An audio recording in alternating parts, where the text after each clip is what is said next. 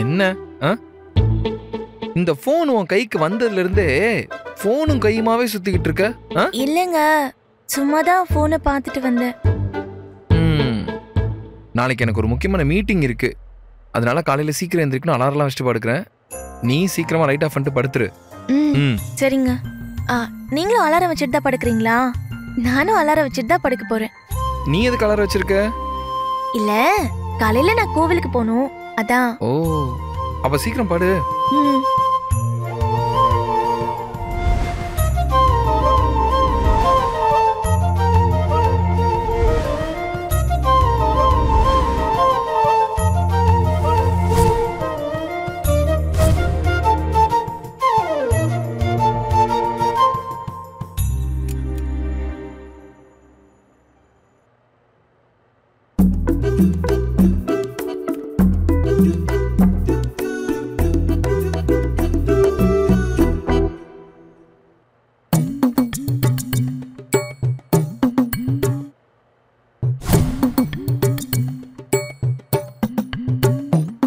காலையில ஒருவேளை அலாரம் அடிச்சு எந்திரிக்கலன்னா என்ன பண்றது?